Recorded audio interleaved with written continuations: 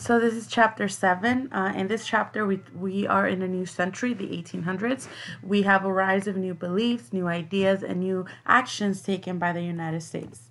One of those new ideas that came around during the 1800s was the rise of cultural nationalism. What is nationalism? Nationalism is pride and joy and of being part of a country. So you are super patriotic, super all all American, everything that has to do with your country, you are super proudful to be part of that country. So a rise of cultural nationalism, proud to be an American.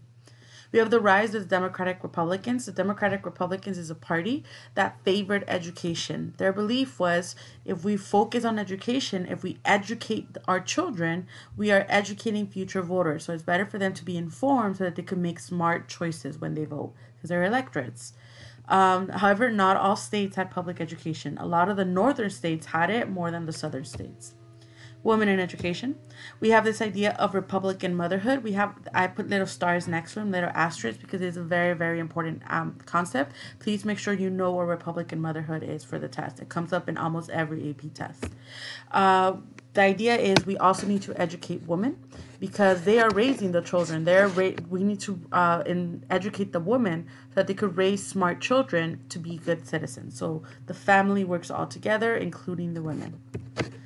However, not everybody got a shot to fair education. For example, slaves were not allowed to have an education because many slave owners believed that they did not want their slaves educated because that could let, lead to rebellion. So slaves were meant um, were kept um, ignorant or illiterate. We have again education, the rise of the universities, especially in Pennsylvania. It became the first medical school. Before this time, medical treatment was very primitive. Uh, primitive means basic. They believed in the concept of bleeding. So um, when they actually bleed you dry, because that's gonna cleanse cleanse your body. Yes, it was super um, ancient thinking. Uh, we have uh, midwives, led, which was led by women. If you don't know what a midwife is, is those people as women that help uh, other women give birth. We have a decrease of those midwives because we have a rise of physicians. We're focusing more on medicine. So now doctors are replacing midwives for performing deliveries. We have Noah Webster. Webster should sound familiar, especially if you guys have ever had in those little red books. They the dictionaries they're at their uh, is called the Webster Dictionary they uh, Noah Webster came up with an with the American Spelling Book in 1783, which was a standard which standardized the English language. So yes, we still spoke English in America, but now it was American English. Um, that is why sometimes, and the reason that was we spoke differently was because it's a different country and we have different influences from all over the world, and that's why some words are spelled differently than they are in England. Like the word gray, it's spelled differently. We have key religious beliefs. Uh, this is a time of the Enlightenment period. This is a time of changes and beliefs so that the church is in the center of the world. We have the rise of deism, which basically means God exists, yes, but it created a universe and then stepped back. So they still believe in religion, they still believe in God, but it's but they don't take they don't believe that is that that God is in your everyday life. That he just he created the world and then he stepped out. So deism. Well, um, Thomas Jefferson was a deist. We have Unitarianism. They did not believe in predestination. This was a big, big deal. If you guys remember last year when you guys learned about indulgences, where people would pay to get their, their sins forgiven, um, which favored the rich this uh, Unitarianism was they got rid of the predestination, basically meaning everybody is uh, everybody is allowed to to uh, go to heaven. Anybody could go to heaven, and this concept uh, was very popular with Americans because remember, um, all men are created equal. That was in our Constitution. That was in our um, Declaration of Independence. So that that aspect of Unitarianism was very American uh, and the belief that Jesus was a person, not the um, not the Son of God. So basically, humans are not the devil. Uh, hum- humans, human beings can also be good. So power to the people. We have religion in the late 1800s. Uh, it was low 10% of, of white Americans were part of an organized religion. Uh, that number started to increase with the rise of the second. So the, there was a there was another attempt to bring people back to the church to increase that 10% to increase that 10%. Uh, and that was done through the second great awakening, where individuals must reconnect with God. Uh, the effects of the Second Great Awakening was uh, we have this giant group meetings in parks and in public settings, like the picture to the left. Those uh, people gathered in parks and hear the words. The modern equivalent of that would be: Have you guys ever see the TV shows on on TV where they have these big giant churches and and a preacher is uh, reaching a lot of people? That's the modern equivalent of that. It helped inspire reform movement of the 1830s and 1840s, like abolition, the end of slavery. So thanks to the Second Great Awakening, we have us, a lot of people asking to end slavery. Other parts of this industry, of this chapter, of this time, is the steering of industrialism. Remember, the Enlightenment period was not just about beliefs and ideas, it was also about industry or about um, how people make money. We have Samuel Slater, he became known as the father of the factory system. He was an English business person that came to America. Um, and when he came to America, he sneaked out plans for creating factories the same way that they built them in England. So remember, England, um, the United States, there was a there was an industrial revolution in England first, and then we had ours in America, thanks to um, and partly due to Samuel Slater very very popular we have the we have eli whitney another another American. He invented the cotton gin, the picture down at the bottom of the left hand corner. The point of this was to reduce time needed to separate cotton from the seed. So if you guys have ever seen a cotton plant, it's tied to um, the cotton is tied to like um, the seed. So people would literally people what what I mean by people is slaves. They would literally pick the cotton and take away the seeds. This process would take hours and hours and hours. Um, and now with the cotton gin, this machine did it for you, thanks to the Industrial Revolution.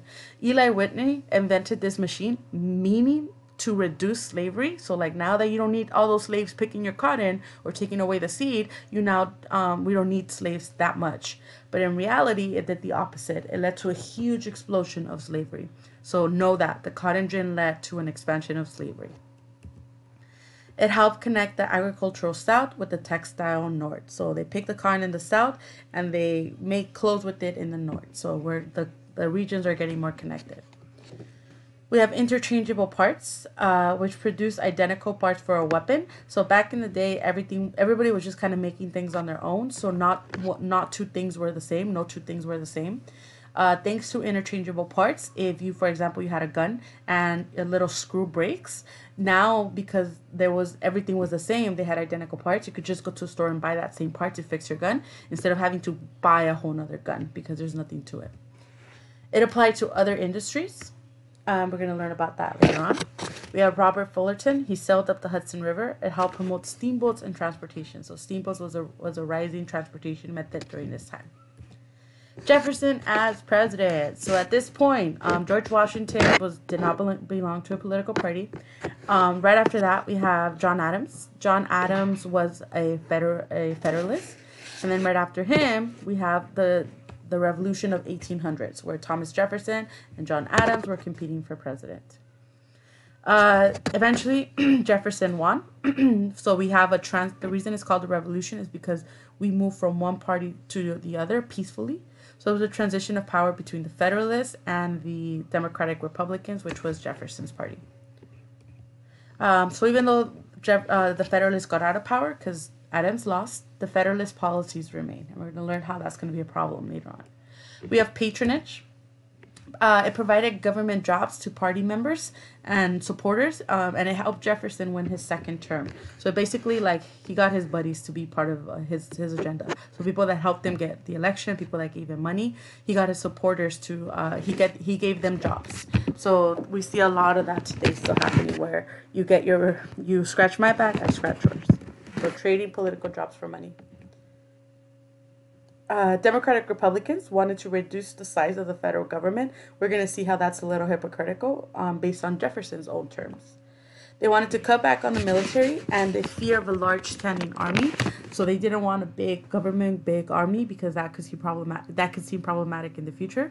The problem with that was the Barbary states, which were basically pirates who kidnapped Americans um, and caused a big problem for the Jefferson administration. So all those Americans that would be out in sale, they would be sometimes captured by Barbary pirates, um, and we had to pay a ransom to get them back.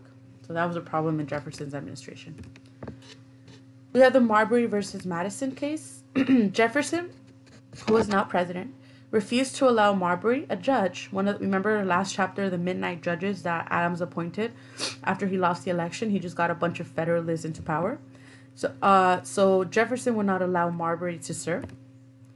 Uh, the Supreme Court stated that Marbury was entitled to be judge, but they could not, but they could not enforce it. So significance of Marbury basically is, I know that Marbury is very, very important, so please know Marbury versus Madison. The significance of it is that it established judicial review, which basically means that the Supreme Court can declare federal laws unconstitutional. So whatever um, law that states or Congress passes, the Supreme Court has the final say. And it gave the judicial branch more power. We have doubling of the nation. We have the Treaty of San um, Ildefonso of the 1800s. France regains Louisiana territory, so the green section in the middle of the map on the right. The U.S. wanted New Orleans, so they sent uh, two men, Livingston and Monroe. Monroe was future president, to buy Louisiana. The purchase did happen for $15 million. We were, we were, they were sent to only buy a small portion, Louisiana, New Orleans but they ended up coming with the whole Louisiana purchase. So if you see on the map, everything in dark green was purchased. They only meant to buy to buy uh, Louisiana, but they ended up with all this, and we bought it back from Napoleon, who was having financial problems. That's why we bought it for fifteen million dollars. So we doubled the size of the United States. Was the purchase constitutional? Under Jefferson's, remember, he was all about small government and strict interpretation of the laws. This is why I say he's a little hypocritical. They, under Jefferson's strict interpretation, no, the United States did not have the power to buy that land. But the Louisiana Purchase caused Jefferson to switch from strict interpretation to loose interpretation. So that was the, the, the hypocritical part. He, he was always about small government, strict interpretation, but now with the purchase, he was all for it. This is ironic because the Federalists were against loose interpretation. So they feared a new land would be made up of Jeffersonian farmers. So Federalists did not want this land because it was Jefferson who purchased it. So they feared that um, that the new land would be filled with his people, his um, giving him the his party the more the more power. So limiting the Federalist powers. We have the Essex Junto, which some England Federalists wanted to secede, saying, well, this guy, Jefferson, is really hardcore. We don't like him. We don't want him to be in charge. So let's let's secede. Let's not be part of the United States anymore. They attempted to lure Aaron Burr. Aaron Burr was a was a um, what's it called? She, he was the vice president at the time, but it did not. But he did not do it. Aaron Burr was just a fun fact about him. He was the one that killed Alexander Hamilton, the guy that created the financial system and the Bank of the United States, in a duel because Hamilton helped keep Burr from becoming governor of New York. So he dueled him, he called him out, and he ended up killing Hamilton in a duel. He traveled to he traveled to he traveled to uh, the Southwest and wanted to take over land from Spain and become president. So he did switch sides afterwards, but he never became president. You have the expansion of war. This is going to be very, very important in future lessons. We have the Berlin Berlin Decree, which Fra- France and England during this time, if you remember last year, were having a lot of problems. They were fighting each other. So France forbade Europeans to trade with Great Britain, and they would capture U.S. ships that traded that traded with, with Britain. So they violate the U.S. neutrality. Remember, we were neutral during this time, but uh, under the Berlin Decree, France didn't care. The orders in council, um, all goods being traded with Europe must stop at Great Britain first. This violated again U.S. neutrality. So both France and England were getting their problem, were getting us involved in their in their in their drama. They both violated the U.S. rights and neutrality. Uh, one of the more reasons why we didn't like the British was impressment. No impressment. No impressment. The British policy of searching for U.S. ships for deserters. So during the war, a lot of people would leave in the British side. So they would stop any ship, including American ships, US ships, and look for those deserters, those people that would jump ship. And once they got on, they would force US men to join the British Navy. So they captured our people and made them fight for their side. Again, this was not nice. This made Americans very angry. We had the Chesapeake Leopard, uh, Leopard affair, where the British attacked the U.S. ships and killed three, and wounded 18 Americans. This again made the U.S. very angry because they were having their own problems, they were going through their own stuff, and they were getting our um, they were getting America in the middle. We were neutral, we don't want to be part of it, but we were still there.